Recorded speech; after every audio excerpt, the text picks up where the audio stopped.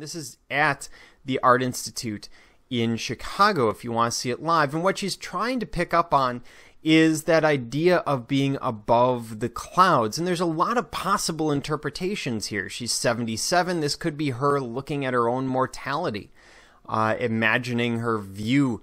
When- O'Keeffe captures her impression of the sky at about 30,000 feet on a flight out west. Interestingly, O'Keeffe took her first air flight when in her 70s, and the experience seemed to evoke an almost childlike excitement, an enthusiasm for travel, exploration, adventure, and escape.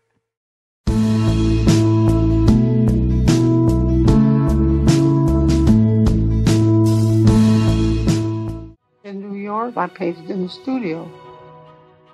Well, in New Mexico, I painted out in my car most of the time.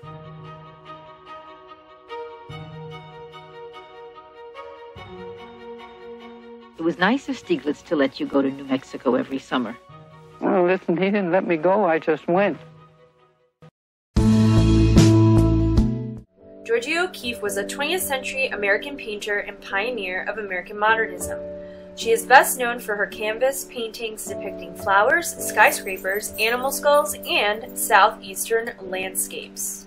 Georgia O'Keeffe was born on November 15, 1887, on a wheat farm in Sun Prairie, Wisconsin. She believed that the bones and skulls were as beautiful as the flowers she had painted. She painted in any weather and during strong rains, and wearing gloves during cold, freezing temperatures, rigging her tents with thick tarps. She painted outdoors and went camping and rafting even in her 70s.